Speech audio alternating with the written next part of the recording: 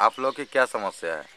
हम लोग को समझे है हम लोग को पैसे नहीं मिला चौका कोड़ने का तो पैसे नहीं मिल। रहे पैसा नहीं मिला और जैसे कि खेती के समय में हम लोग जैसे पैसा के कारण जैसे कि कुछ करवाई कर नहीं सके।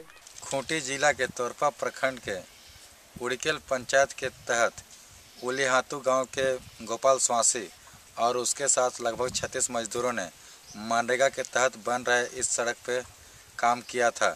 मगर तीन साल बीत जाने के बाद भी उन्हें मजदूरी का भुगतान नहीं किया जा रहा था। हम लोग का यह समस्या है जैसे कि हम लोग काम किए थे चौका लेकिन पैसा नहीं मिल आधा लोग को मिला आधा लोग को नहीं मिला है अभी भी पैसा। और अभी पैसा का क्या स्थिति है?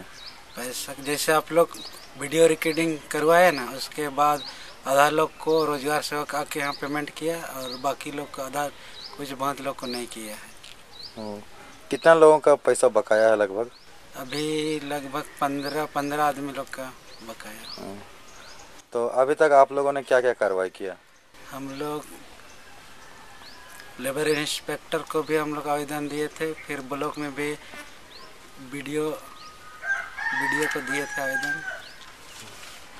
तो अभी उसका कुछ सुनवाई हो रहा है कि नहीं हो रहा? है अभी तक तो कुछ सुनवाई नहीं हुआ है। एक आवेदन बनाकर जब प्रखंड विकास पदाधिकारी को दिया तब इन कुछ लोगों का बकाया मजदूरी उन्हें दिया गया। वो भी कम रेट से। अब यहाँ के मजदूर चाहते हैं कि उन्हें ज़्यादा रेट से उनकी मजदूरी मिले। और जिन मजदूरी, जिन मजदूरों का मजदूरी बकाया है, उन्हें उनकी पूरी मजदूरी मिले। आप तमाम वीडियो देखने वालों से यह अपील करता हूँ कि आप नीचे लिखे नंबर पर कॉल करके हमारे तौरपा प्रखंड के वीडियो और हमारे खूंटी जिला के उपायुक्त को समस्या से अवगत कराएँ। ताकि गोपाल स्वासी और उनके साथ काम किए हुए छत्तीस मजदूरों का बकाया मजदूरी उन्हें मिल सके। मैं अमित टोपनो, खूंटी जिला से इंडिया नेट के लिए।